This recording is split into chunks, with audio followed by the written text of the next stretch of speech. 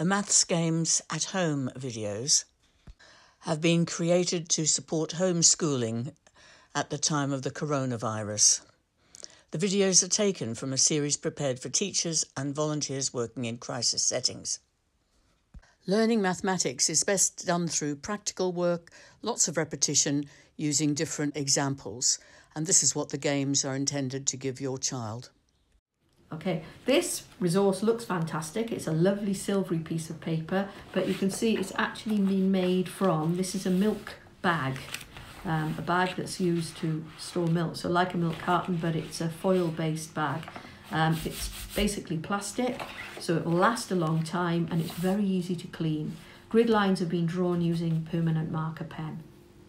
More detail about the resources in this video and others can be found in this booklet, Numeracy for All, Resources for Teaching Mathematics a guide for teachers and trainers on how to make and use low-cost or no-cost teaching and learning aids.